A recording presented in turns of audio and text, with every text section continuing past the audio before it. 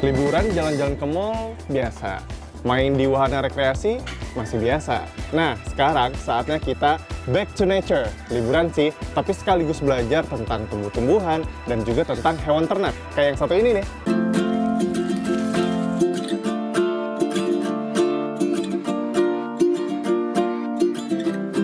Wisata alam terbuka yang saya kunjungi ini adalah Kuntum Farm Fields. Terletak di kawasan Tajur, Bogor, Jawa Barat. Lokasinya yang berada di dataran tinggi membuat Anda bisa menikmati keindahan alam serta udara yang sejuk. Dengan membayar Rp70.000 untuk hari biasa dan Rp80.000 pada akhir pekan serta hari libur, Anda dapat merasakan secara langsung kegiatan beternak dan berkebun. Seperti memberi pakan pada hewan ternak dan peliharaan, mengenal sayur-sayuran dan umbi, menunggang kuda, serta permainan menangkap ikan. Nah, di sini tuh lengkap banget ya Mas ya. Terus eh, banyak hewan-hewan juga, nggak cuman kita lihat tapi kita bisa kasih makan juga. karena mereka ini pengen tahu beternak kayak gimana, terus juga mau tahu bercocok tanam yang di depan tuh kayak gimana, kayak gitu.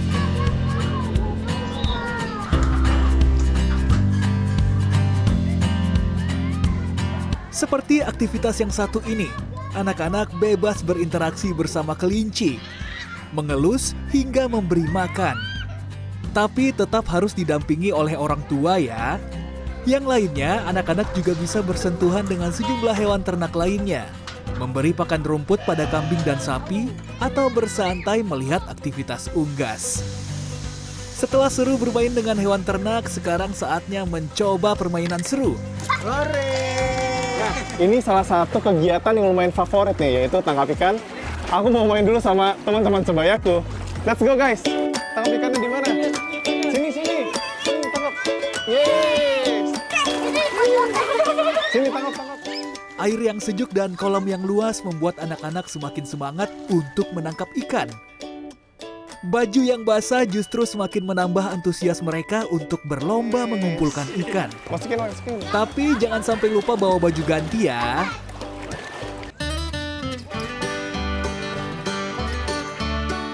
Ada kegiatan yang mencuri perhatian lainnya, yaitu menunggang kuda. Sudah bisa dinikmati dari anak usia satu setengah tahun dan didampingi oleh orang tua. Selama berkuda tidak perlu khawatir karena akan ditemani oleh instruktur. Untuk mengajarkan anak-anak tentang kebersihan alam, Anda bisa mengajak belajar mengenal penguraian sampah. Tapi hati-hati ya, bagi Anda yang tidak tahan bau dan takut melihat ulat. Banyak orang yang jijik mungkin lihatnya, tapi ternyata fungsinya bagus loh untuk mengurai sampah dan juga jadi pakan unggas-unggas. Nih, kita lihat di sini. Uh, tuh numpuk banyak banget. Wow.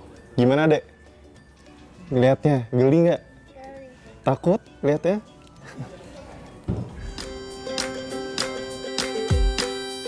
Hewan yang bentuknya seperti ulat ini ternyata adalah larva dari jenis lalat black soldier fly. Di balik bentuknya yang menggelikan, maggot sangat bagus menjadi pakan ikan dan unggas karena mengandung nutrisi yang baik.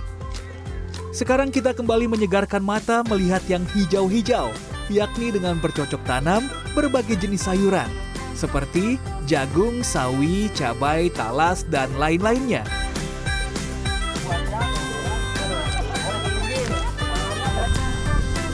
Tidak kalah seru, buah hati Anda bisa belajar panen sayur, seperti yang dilakukan Matthew Graciano Yosef dan teman-temannya.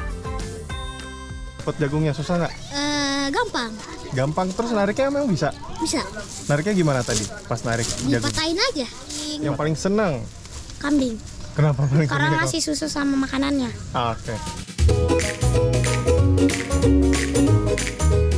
Dari hasil panen ini bisa langsung dibawa pulang ke rumah. Dengan biaya tambahan mulai dari Rp20.000 disesuaikan dengan berat hasil panennya.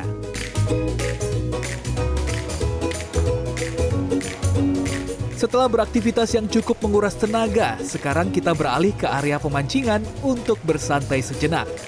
Sekalian menguji keberuntungan, siapa tahu bisa dapat ikan yang besar.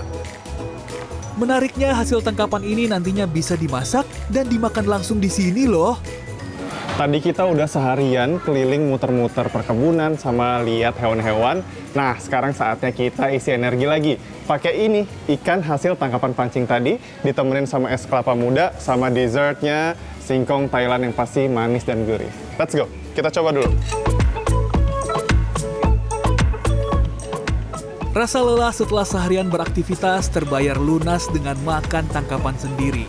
Serta pulangnya dapat oleh-oleh hasil panen sayur dan juga ikan. Rafis Arinugroho, Probo Kusartoyo, Bogor, Jawa Barat.